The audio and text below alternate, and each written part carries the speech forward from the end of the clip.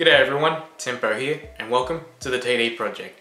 In today's episode, I'm going to be tackling an issue which I feel should not even be an issue because if everyone just pulled their head out of their ass and paid attention to the Australian classification ratings, it would not be an issue. But people choose to ignore them and then it turns into an unnecessary issue and it just, the media blows it up and I think it's really stupid and everyone just needs to pull their, their head out of their ass. Anyway, before I get into this rant, I recommend you watch my the previous video I made on the Australian classification rating because that will be providing context for this video. And the basis for this rant is that Australia has a classification classification rating system for TV shows, movies, video games, and some of these ratings are restricted. We have MA 15 plus and R 18 plus, which means you have to be of that age or older. Whether it's MA 15, you have to be 15 or older, R 18, it could be 18 or older, to watch that movie or buy that video game or whatever it is. But people then like to complain that these movies, TV shows, video games aren't kid friendly and it's I just want to say to you guys, pull your head out of your ass because there's a, a rating on it which pretty much says it's not kid friendly. Anyway, watch that other video before you uh, jump back into this. I'll put a link up somewhere probably, hopefully, maybe. And yeah, I just want to say adult video games and movies are not for kids. And what is my classification for what makes an adult video game or an adult movie. It's pretty much a video game or a movie. Let's, let's throw TV shows in there as well. It's one of those where they have the MA or R rating on it.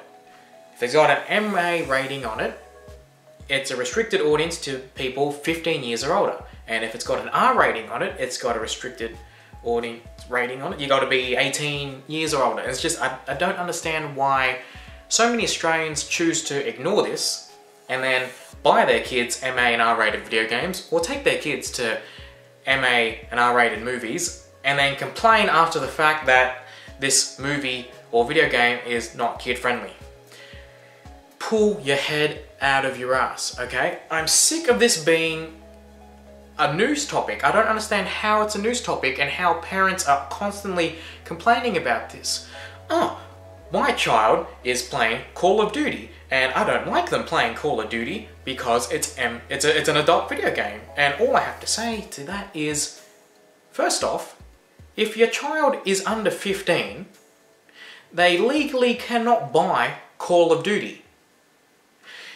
If you were to go into a shop like EB Games or something, Target, Big W, Kmart, whatever, you went in there and you grabbed a hold of a copy of Call of Duty or Grand Theft Auto or some other MA or R-rated game and you went to the counter and you looked young, the store clerk, the cashier, is legally obligated to check your ID and refuse sale if you're not of age.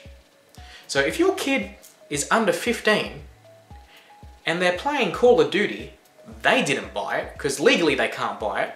So it's probably you that bought it. So you bought your kid this video game they legally can't buy and legally can't play because it's not suitable for them because it's an adult video game and then your kid's playing it and then you're complaining to the stores or the video game companies or the Australian government about how this video game is too violent, too graphic, too sexual for your kid despite the fact that there's an MA or R rating on these video games and this kid legally can't purchase it and legally can't play it. But no, you're an idiot. And you're going to choose to ignore the fact that there's a rating on this video game, and you're going to make a big hoo-ha about it, get the whole media involved, and just turn this whole thing into a circus when this all would have been avoided if you pulled your head out of your ass and actually did some parenting and did not buy your underage child this MA or R-rated video game, or did not let anyone else gift them this MA or R-rated video game. Like, you're a parent, that's your kid. You, you should be taking charge of what your kid is or isn't playing or viewing, especially with regards to adult video games and movies. Like, I don't understand what the problem is. Like, they got these ratings on there to tell people, hey, this is not a child-friendly video game or movie. It's for an adult audience, and yet you choose to stand by and let your kids watch or play these movies and video games and then complain after the fact that it's not suitable for kids. Just get stuffed and pull your head out of your ass. I don't see what the problem is because it really isn't a problem. The real problem is in your head because you're just not being a proper parent but you want the whole world to burn because you made a bad parenting decision and you want the, the video game and movie companies to pay for it, and you want the Australian government to somehow take action, even though the only action that needed to be taken was you not buying your kids these MA and R-rated video games, or letting them play it. It should be that simple, but clearly it's not, and I don't understand why everyone then takes the next step to make it into a media circus. Like, it's, it should not be an issue. Should not be an issue.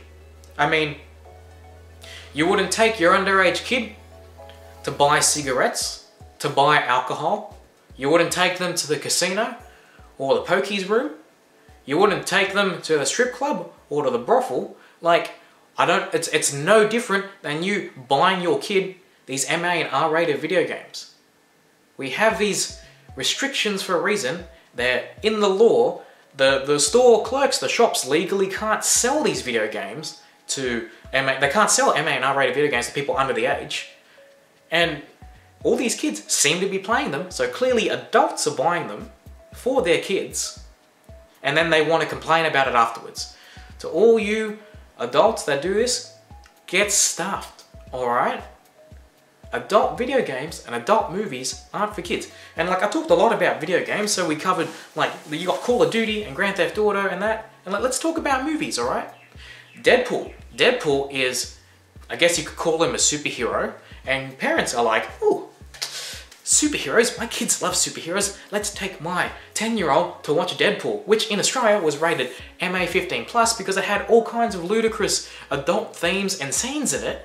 And then parents were walking out of the cinemas going, I want my money back. This superhero movie was not for, for kids and it scarred my, my kid for life probably, maybe. And Get stuffed, pull your head out of your ass. You should have known what you're going into because on the movie poster, on the movie trailer, on the freaking the board that showed the movie times was the MA rating.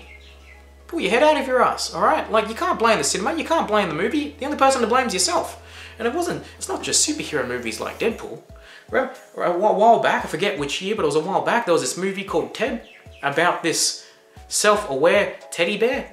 And the amount of people I saw taking their kids to watch this MA-rated movie because it had a teddy bear on the on the bloody movie poster. Get stuff. To anyone that's seen Ted, you know very well it's not a kid's movie. To anyone that's seen the trailer or even glanced at the movie poster, you should know that it's not a kid's movie. It's MA-rated in Australia.